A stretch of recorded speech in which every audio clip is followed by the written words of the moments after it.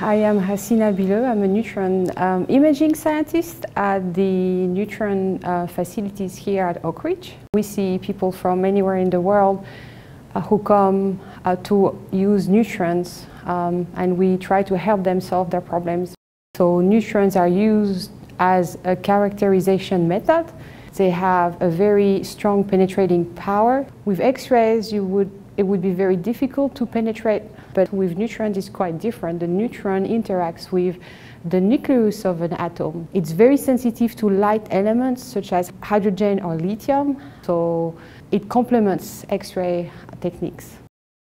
So in biology or soft matter, what we call soft matter, we have been looking at plants and particularly the roots and we were trying to understand the root dynamics the water uptake, how does a plant uptake uh, water through the roots um, and how does the environment or any stimulus you apply to the plant changes those dynamics. We've also looked at uh, canine tissue samples, so natural uh, cancer in the dog uh, is very similar to the human cancer.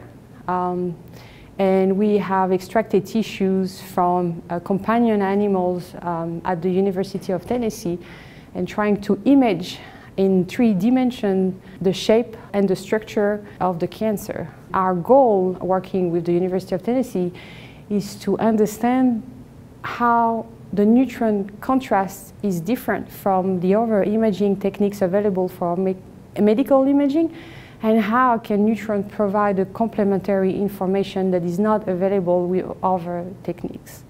We've also worked on very applied uh, techniques such as diesel particulate filter and try to help um, scientists at NTRC optimize their filters to prevent particulate matter from being exhausted in the atmosphere.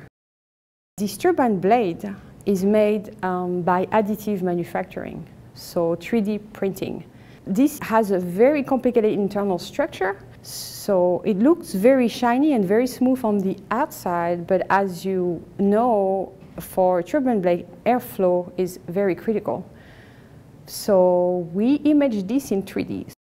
We are capable of, of rotating the sample around itself and taking all these radiographs that we later combine using uh, software in a 3D model. And that 3D model, we can basically dissect it any way we want in a non-destructive way. Flying through that object and look, looking at the surface, the internal surface roughness, which is not accessible any other way.